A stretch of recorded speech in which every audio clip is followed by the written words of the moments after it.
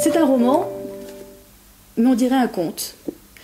Ça se passe dans un château, ça se passe dans des châteaux les contes, dans une frontière euh, entre deux pays euh, mystérieux.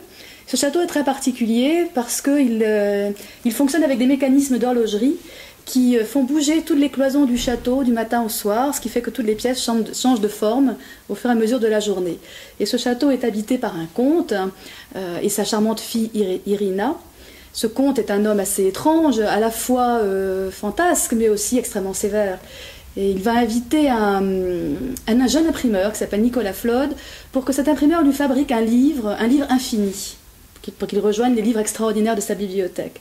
Il va arriver ce qui devait arriver, c'est-à-dire que le jeune imprimeur tombe amoureux d'Irena, et ça, le comte n'apprécie pas beaucoup la plaisanterie.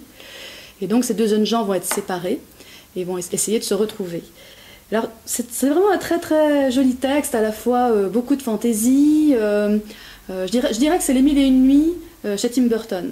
C'est-à-dire qu'on a beaucoup de poésie, des personnages extraordinaires, des personnages un peu automates, des gens, très humains aussi, et qui, vont fonctionner tous ensemble dans une quête, qui, vont suivre ensemble. Ils vont partir sur un bateau extraordinaire vers Venise, qui est aussi une des villes, une des villes qui illustre le plus le rêve et le conte.